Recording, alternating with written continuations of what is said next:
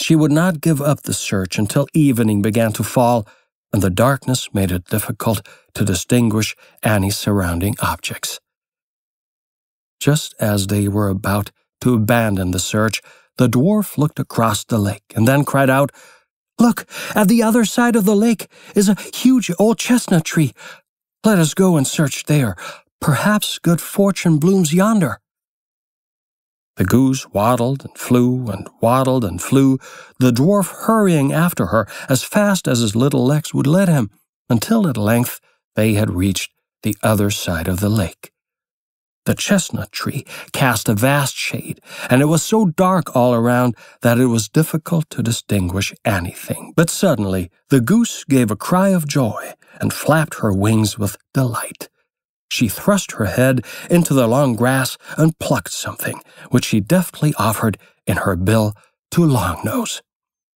This is the herb, said she, and it grows here in such quantities you will always have a plentiful supply. The dwarf looked at the herb thoughtfully.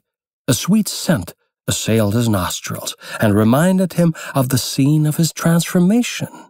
The stalk, too, of the plant was of a bluish green color, and it bore a bright red flower, flecked with yellow.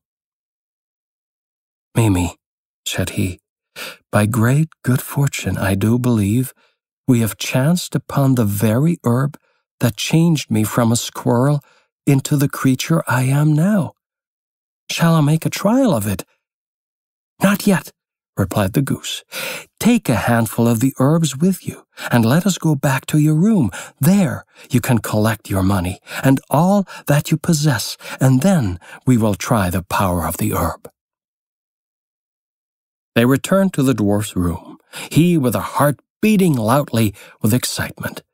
He took between fifty and sixty ducats he had saved and tied them up in a bundle with some of his clothes, then saying, May good fortune aid me to be rid of my burden.